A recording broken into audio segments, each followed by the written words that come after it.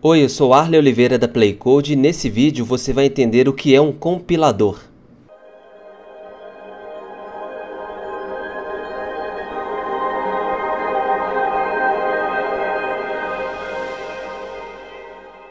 Deixando de forma bem simples, um compilador é um programa que funciona como se fosse um tradutor. Ele transforma uma linguagem de alto nível em uma linguagem de baixo nível que se comunica diretamente com o processador.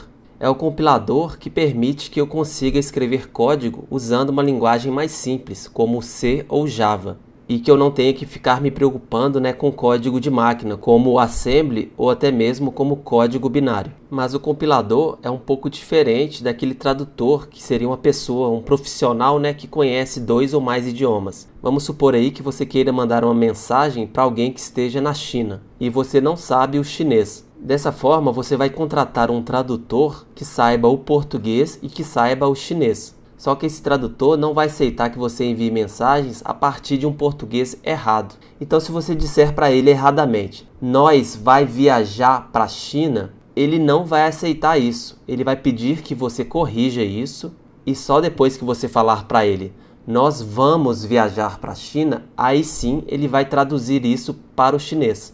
Então o compilador acaba funcionando como um processo intermediário aí que faz a correção do seu código para avaliar se a sintaxe dele está correta e está usando comandos né, que realmente existem naquele dicionário ali da linguagem. É claro né, que um compilador é muito mais do que isso. Eu estou te dando uma explicação aqui extremamente simples para que fique mais claro para você que não quer e não precisa se aprofundar muito nesse assunto. Agora eu vou te mostrar na prática como funciona um compilador para ficar mais claro para você. Veja que eu tenho aqui meu Code Anywhere com uma máquina virtual simples, usando o sistema operacional Ubuntu Linux. Eu criei um pequeno programa aqui bem simples, usando a linguagem de programação C. E o objetivo desse programa é simplesmente mostrar a mensagem Olá Mundo. Diferente de linguagens interpretadas como o PHP, o Ruby ou o Python, eu não consigo aqui executar esse arquivo diretamente. Eu preciso compilar ele e depois executar o resultado dessa compilação. Então, para isso, eu vou acessar aqui meu terminal e eu vou usar o compilador chamado GCC, que eu vou mostrar aqui "-v para você ver a versão dele. Então eu estou aqui usando né, o GCC versão 4.8.2. Então agora eu vou usar esse programa de linha de comando, né? Eu vou usar ele para compilar o meu código.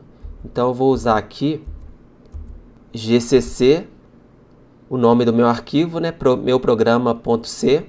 Vou usar aí o atributo "-o e aqui eu vou colocar o nome de saída. Então eu quero que depois que meu programa esteja compilado, eu quero que ele se chame OPA. Mas isso aqui poderia ser qualquer outro nome, eu que resolvi dar esse nome aqui. Então vou dar Enter aqui e veja que ele me mostrou a mensagem de erro.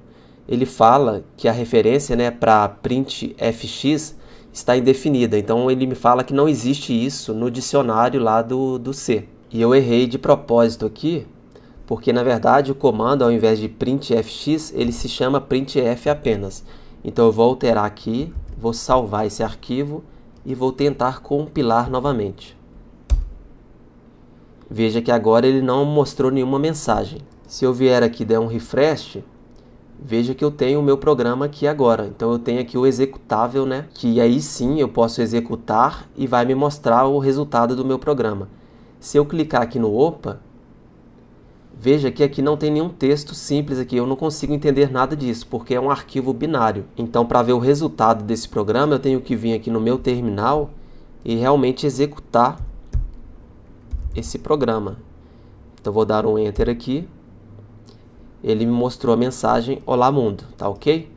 Então esse foi um exemplo de código rápido aqui para você ver na prática um compilador funcionando. Em vídeos futuros eu vou voltar a falar sobre esse assunto e vou comparar, né, fazer uma comparação entre linguagens compiladas e linguagens interpretadas. Mas o objetivo desse vídeo aqui foi só você mesmo entender o que seria um compilador. E agora antes de terminar eu vou responder essa pergunta aí, né? Eu posso criar um compilador? Sim, você pode criar o seu próprio compilador. Eu dei um exemplo ali de um compilador que eu usei, o GCC, mas existem outros compiladores criados por outros programadores. Então, sim, é possível você criar o seu próprio compilador. Na faculdade de Ciência da Computação, tem, por exemplo, uma disciplina que fala só sobre compiladores.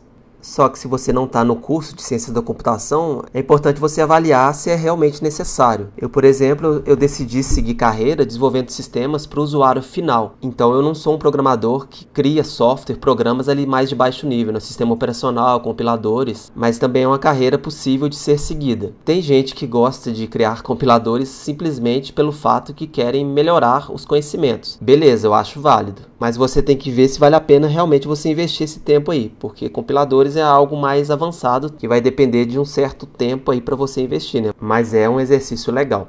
É isso aí, eu espero que você tenha gostado desse vídeo. Se gostou, dê um like, comente e compartilhe. Grande abraço, até mais e tchau.